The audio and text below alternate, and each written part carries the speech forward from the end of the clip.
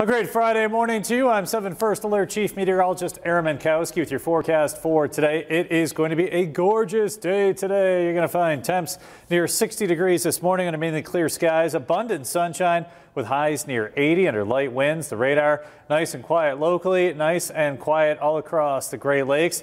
And here's a look at your hour by hour high resolution forecast. Look at that blue skies across the area today.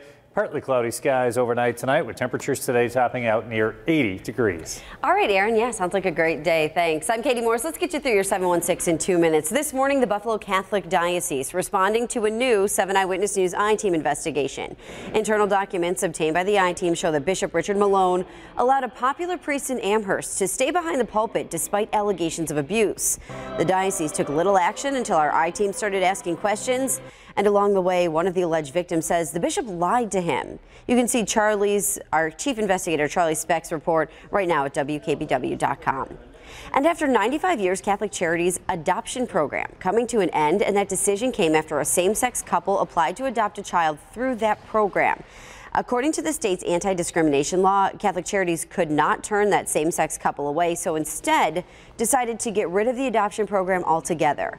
The county has a contract with Catholic Charities for the program. It says it's working with the organization to make a smooth transition. And that is your 716 in two minutes. We're back just before noon with more headlines. Have a great day, Western New York.